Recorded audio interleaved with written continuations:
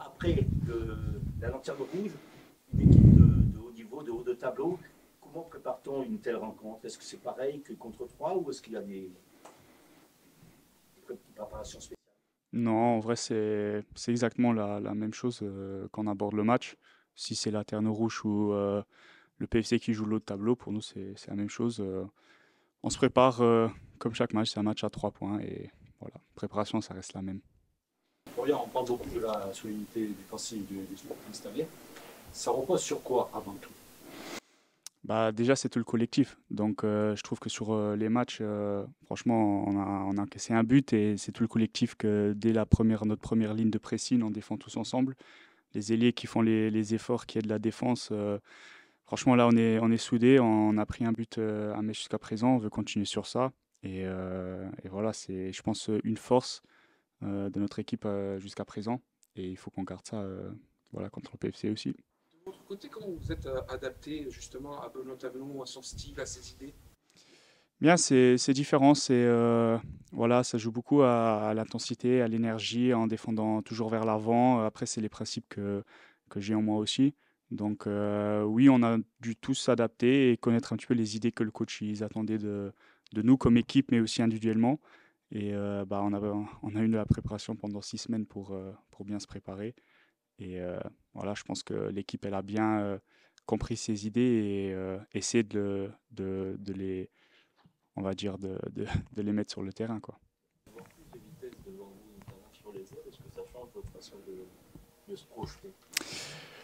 Oui, euh, bon là j'ai joué avec Lisandro devant moi qui, qui d'abord restait bien sur le côté et puis quand il a le ballon il rentre. Donc moi en vrai, je, connais un petit peu le style de jeu qu'il est. C'est un gaucher qui aime bien rentrer. Donc, euh, je me suis projeté, mais pas à chaque fois. Euh, surtout à la fin de match, par exemple, contre, contre 3. Euh, voilà, on était à 0-0. Il fallait plus se projeter à chaque action non plus. mais c'est vrai que les, joueurs qui sont devant moi, c'est voilà, différent avec la mine qui est plus dans la percussion, l'un contre un. Lisandro qui aime bien rentrer à l'intérieur. Donc, nous, comme latéraux, on s'adapte un peu. Mais notre philosophie, c'est toujours d'apporter quelque chose offensivement. après voilà, c'est peut-être 4-5 fois par mi-temps, mais alors si on y va, c'est à fond et voilà, on s'adapte un petit peu aux différents profils qui sont devant, nous, mais en vrai, on le fait quand même n'importe qui joue. On parlait de la solidité défensive tout à l'heure. Johnny, ouais. sur le terrain, dans le jeu, vous êtes le, dernier survivant entre guillemets dans sa défense de, la saison dernière. Vous avez des, nouveaux coéquipiers. Il n'y a pas eu de temps d'adaptation. Comment, vous l'expliquez que cette entente entre vous soit arrivée aussi? Bah, Déjà la préparation. On avait six semaines, donc euh, on en a beaucoup travaillé. Après, Gustave, euh, je crois qu'il a, il a 28 ans, donc euh, voilà, c'est pas un jeune, il sait, même s'il n'a pas évolué en Ligue 2, on voit qu'il a une certaine expérience. Juan, franchement, pour moi, il, il, est arrivé, on ne savait pas trop, trop à quoi s'attendre, mais il nous comprend, on se comprend sur le terrain, même si on parle en, anglais, je crois qu'on a le même feeling. Et en fait, ça passe bien entre nous, on se comprend, on voilà, on a pris pendant les six semaines de préparation les, bonnes, euh, on va dire, euh, ouais, on s'est bien entendu entre nous, on sait comment l'autre il fonctionne et ça fait que euh, on arrive à bien défendre tous ensemble. Avec la vague de départ qui est intervenue lors du mercato, vous êtes devenu un essentiel de l'effectif désormais. Qu'est-ce que ça change dans votre façon d'aborder les choses? Bah, Franchement, je... pas, pas, pas grand-chose. Donc pour moi, je suis là maintenant à presque deux ans il n'y a rien qui change. oui, je suis un des plus anciens, on va dire. Bon, j'ai 26 ans, mais encore dans notre équipe, ça, c'est un des anciens, mais ça change, ça change rien. En fait, je, reste dans le même registre que la saison dernière. je fais les mêmes choses. je, voilà, je prends mes responsabilités et voilà, le reste, je laisse au, capitaine. c'est une grosse équipe qui, qui marque. Sur quoi le coach a-t-il attiré votre attention? Sur la concentration, mais sur l'énergie, mais est-ce qu'il y a quelque chose de particulier dans, Ouais, il faut se méfier parce que le PFC, c'est une équipe qui est très créative, avec beaucoup de joueurs euh, créatifs qui dézonent euh, énormément. Euh, ils ont un style de jeu quand même assez atypique et on a beaucoup travaillé sur ça, sur les dézonages qu'ils font, les joueurs qui se promènent un petit peu en, en, électron libre. Donc on a beaucoup, beaucoup travaillé déjà défensivement, comment on veut défendre contre eux collectivement et après aussi avec ballon. voilà, on a dit qu'à Metz, par exemple, aussi, on a bien défendu, mais avec ballon, c'était pas, pas, c'était pas assez bon. Et on sait que pour prendre un résultat contre le PFC, il faut aussi être bon avec ballon. Donc on a accentué, on va dire, sur l'aspect défensif, mais sans oublier aussi nos automatismes avec ballon. C'est un match qui peut correspondre mieux à l'équipe que celui face à 3 où il y avait un bloc très très bas, vraiment à, déplacer. Alors que là, logiquement, il y a une équipe qui va se projeter vers l'avant et vous allez peut-être pouvoir mettre en place ce, pressing haut et, et ses comptes. Ouais, mmh, c'est difficile à dire parce que la saison dernière, euh, si je me, référence à la saison dernière, toujours le haut tableau, on était, on était euh, très performant parce qu'on pouvait aller les chasser, parce que c'était des équipes qui, nous donnaient des espaces euh, pour aller les chasser et qu'après la récupération de ballon, ils étaient plus ouverts qu'une équipe qui joue plus bas et plus compact. Ça change peut-être juste dans la manière qu'il y a plus d'espace pour nous avec ballon, parce que c'est des équipes qui aiment jouer, qui aiment aussi voilà, attaquer alors que trois ou des équipes, d'autres équipes qui aiment déjà plus défendre. Et pour nous, après, c'est plus difficile à trouver euh, voilà, les, bonnes zones à aller attaquer. C'est vrai que ça change un petit peu, euh, mais après, comme j'ai dit, pour aborder le match, euh, c'est la même chose. Après, on va voir ce qui nous attend vendredi. Les gars, il faut que, faut que je me recentre sur le sujet. Merci Julien de me stabiliser d'entrée. Les groupes, vous voulez, messieurs? Allez. Fabri, Placide, Bonnert, Tavares, Ronca, Aquesson, Aris Guevara, Toga, Vincent, Ducrome, Maggio, Tilou Batière, Cissé, Boutra, Tramoni, Tom et Rodriguez. Euh, partent à jouer en 3. Doumé qui fait son retour, Doumé Guide qui part euh, jouer parce qu'il joue sur pelouse contre la réserve de Caen. Mazikou, Soumaoro, Oulay et Boumaoui et reste à Bastia pour euh, travailler. Janet, Ménadier qui vont beaucoup mieux. Ils ont fait deux entraînements avec le collectif là, donc ils vont reprendre totalement avec nous la semaine prochaine. Ils seront sélectionnables, je pense, pour Annecy. Traoré qui reste là et Anto Maisonial qui reste euh, ici aussi pour s'entraîner demain matin. Voilà. Coach, bonjour. Bonjour. À l'issue du match de 3, vous avez dit contre euh, Paris, ça sera un autre match. À quoi s'attendre donc? Bah, déjà, à une, autre, une autre position, c'est vraiment une belle équipe. Une équipe avec euh, beaucoup de qualités individuelles, mais qui dégage aussi un, collectif très fort. Voilà, ils ont un système de jeu euh, pas usuel dans cette division, euh, avec un milieu qui se déforme beaucoup. Donc, il va falloir vraiment être performant dans notre animation défensive demain. Alors, pour cette équipe du Sporting, c'est le premier face-à-face avec une vraie grosse cylindrée du championnat. Après Metz, bien entendu, la première journée, mais c'était un peu différent parce qu'il y avait le mercato qui n'était pas encore terminé. Justement, ça peut avoir valeur de vrais gros tests demain soir, ce qui va se passer contre Paris FC. Ah oui, le PFC, c'est vraiment une équipe euh, bah, qui l'annonce. Hein. Ils, veulent, euh, ils veulent monter, ils ont mis des gros, gros moyens. Ils travaillent depuis euh, quelques années maintenant pour, pour y arriver.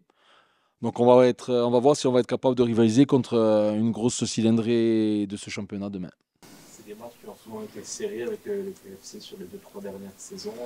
Comment vous avez préparé cette, alors j'ai pas j'ai pas j'ai pas souvenir des matchs des dernières saisons. Je pense que je n'ai même pas vu je n'ai même pas vu un. J'ai préparé comme tous les matchs hein, de manière euh, très approfondie. D'autant plus que comme je vous l'ai dit, ils ont vraiment un système de jeu assez assez différent. Ils sont capables de proposer beaucoup beaucoup de choses dans leur animation offensive.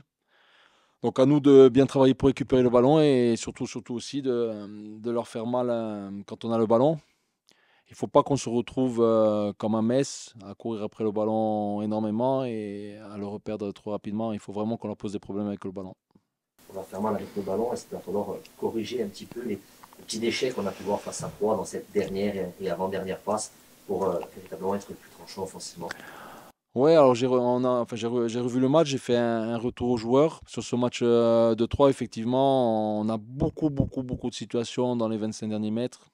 Voilà, j'ai les ai catégorisés en, en, trois, phases. On a une vingtaine de situations qui peuvent nous permettre d'avoir euh, une occasion. Où là, il y a un déchet sur le centre ou un déchet sur le jeu combiné qui passe pas. Une vingtaine, c'est beaucoup. Euh, on va pas réussir les 20, mais je dis aux joueurs, si on a réussi 4-5, ça nous crée derrière une occasion.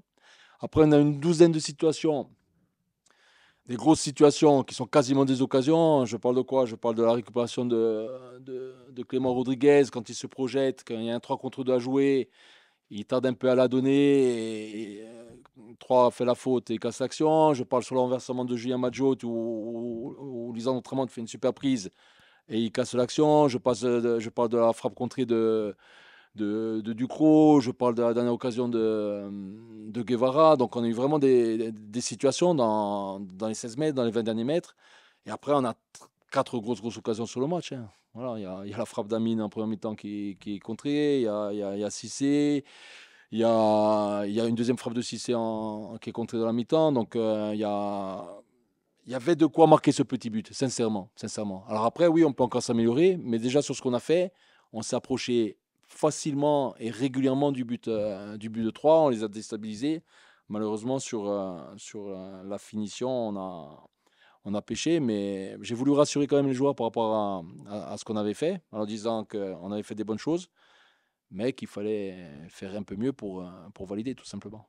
Vous parlez de passer d'un milieu qui se déforme. Ouais. On a vu dans le groupe qu'il y avait, y avait le jeune Loubatière. Est-ce que ça veut dire que peut-être vous allez imaginer un milieu différent pour, pour faire face à Paris non, Matteo rentre dans le groupe euh, déjà parce qu'au niveau de son investissement, il le mérite. Voilà, il s'accroche. C'est pas évident, c'est pas évident pour lui parce qu'il y a, du monde, il y a du monde à son poste. Et aussi parce qu'à un moment donné, le petit Houlet, il faut qu'il joue. Et on ne peut pas garder les jeunes en permanence euh, sur le banc à faire 5 minutes, 10 minutes, ou à regarder eux jouer. C'est pas bon, donc il faut, il faut qu'ils jouent. Donc sur les jeunes, euh, Matteo a joué ses matchs à 1-3 sur le début de saison. Le petit Christo là, il y a un peu de retard, donc, euh, donc on, a, on a fait ça comme ça. Donc il y a un peu les, les deux éléments, mais Matteo mérite sur son investissement d'y être. Après, j'ai une discussion avec lui. C'est un garçon qui a besoin de se remplir et c'est un garçon à qui serait fait du bien de, de faire une saison en pleine en, en national, par exemple. Si on estime qu'une équipe qui, tourne à plein est à 100%, votre équipe est à combien? 70 75% le 100%, on, l'obtiendra avec, euh, avec le temps, parce qu'on, comme on vous l'a dit, comme Fred vous l'a dit, on a pris des joueurs euh, à potentiel, des, joueurs à construire. Donc moi, je ne me fixe pas de limite par rapport au, potentiel de cette, de cette équipe. Voilà, on est, on est bien athlétiquement, c'est, déjà bien. Après, il faut qu'on qu prenne confiance et qu'on trouve, euh, trouve les bons automatismes sur certaines situations, tout simplement. Mais voilà, on va, on va aller en progressant. Alors, la, progression, elle n'est elle est, elle est pas linéaire. Des fois, c'est, ça serait trop facile. Donc, euh, mais sur la durée, je suis intimement convaincu qu'on va, qu'on va performer et qu'on va progresser. Cette équipe, elle est bien pratiquement, c'est important parce que vous allez arriver sur un enchaînement à partir de demain de trois matchs en une semaine, vendredi, mardi, vendredi. Justement, est-ce qu'on pourrait déjà voir dès demain soir des petites adaptations par rapport à ça, euh, par rapport à la gestion de l'effectif Non, comme je l'ai dit la semaine dernière, sur ce match-là, je n'ai pas calculé l'enchaînement des trois matchs. On fera le point à la sortie du PFC demain par rapport au match de mardi et l'enchaînement avec euh, Annecy vendredi. Mais sur ce match-là, non, j'ai simplement réfléchi avec le staff à la meilleure manière de contrarier cette équipe et de vouloir euh, faire un résultat demain. Contrairement au match de 3 qui était plutôt euh, bloc bas, est-ce que c'est une équipe qui peut plus correspondre comme Metz avec, qui va jouer et c'est une équipe qui, qui va venir On risque d'avoir un peu plus euh, d'espace sur nos récupérations, bien sûr. Après 3, en revoyant le match encore une fois, hein, on, est au-dessus de cette équipe hein, sur, le match. Hein. Si on regarde euh, les statistiques sur les, fameux XG, sur la possession, surtout, on, maîtrise le match. Mais ça ne suffit pas en foot. Ça suffit pas en foot. La preuve à Metz, euh, on n'a rien pour nous on fait match nul, alors que statistiquement, on doit exploser. Non, moi j'ai l'ambition demain de, faire un bon match, de, faire un résultat. Je sais qu'il va falloir qu'on défende très très bien. Mais je sais aussi qu'il va falloir qu'on fasse des choses avec le ballon pour pas se retrouver dans un schéma comme euh, la seconde mi-temps de Metz. Donc on a réfléchi à tout ça et je fais confiance à, nos joueurs pour, euh, réaliser une grande performance demain. Pour revenir sur euh, le niveau offensif, Bontra et Tramo, ils ont un peu parfois les défauts de leur qualité. Ce sont des joueurs très techniques et qui parfois ont un tout petit peu de mal à lâcher le ballon. On a vu que Lisandro Tramon a progressé sur ce point-là lors, du dernier match. Comment vous travaillez avec eux sur ça, sur le fait de mettre vraiment au service du collectif leur talent technique? Bah déjà en faisant des retours vidéo, en leur remontrant, en leur montrant ce qui a été et ce qui n'a pas été. En, en travaillant aussi sur, euh, sur le jeu combiné, en limitant les touches, en faisant des 6 contre 5, des 7 contre 8, et en, travaillant un peu différemment. Après, sincèrement, quand on a des joueurs comme Amine et, Lisandre, on les, prend, on les prend avec leur qualité. Donc, euh, moi, plus ils provoquent, plus ça me plaît. Maintenant, le jeu, il faut être euh, demande de la justesse et c'est ça qui nous manque euh, un peu, mais je vais, je vais pas les brider parce qu'on les a pris pour ça. Bon, bah oui, euh, partant avec la Nationale 3. Ouais. Est-ce que Cissé euh, est, le, est le numéro 9 qui, qui peut également jouer euh, avec, euh, euh, Oui, oui, oui. La mine, euh, la mine, il jouait comme ça aussi à, Nancy. Elle a la capacité de jouer dans l'axe, elle a la capacité de jouer à droite, la capacité de jouer à gauche, la capacité de jouer à, deux attaquants.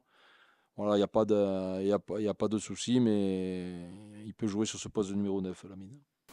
On parlait de test euh, tout à l'heure, c'était du Sporting, elle n'a encaissé aucun but dans le jeu. Euh, c'est sur coup franc face à Metz, justement. Est-ce que c'est un test aussi pour, euh, pour cette défense que l'on dit très solide depuis le début, qui face à elle va avoir des joueurs comme euh, Crasso, Maxime Lopez, Kebal, des joueurs niveau Ligue 1 quasiment. Est-ce que c'est, un vrai test aussi pour, euh, cette défense? Oui, bien sûr, c'est un test, euh, un test collectif, c'est un test euh, individuel. Il y a vraiment des joueurs euh, de grosse qualité en face. Maintenant, la résolution du, problème PFC demain, elle passera collectivement. Et si ça passe collectivement, c'est que chacun d'entre nous, y compris le staff, euh, on aurait été à peu près, à peu près correct. Mais c'est sûr que sur les matchs, on est quand même euh, assez solide, même si Placide euh, Johnny participe à cette, solidi- cette solidité, pardon, parce qu'il fait des arrêts, des arrêts dé- décisifs. Mais on récupère quand même pas mal, pas mal, pas mal de ballons. On arrive quand même à mettre euh, l'adversaire sous pression assez régulièrement, hormis cette seconde mi-temps à Metz où on a, on a beaucoup souffert.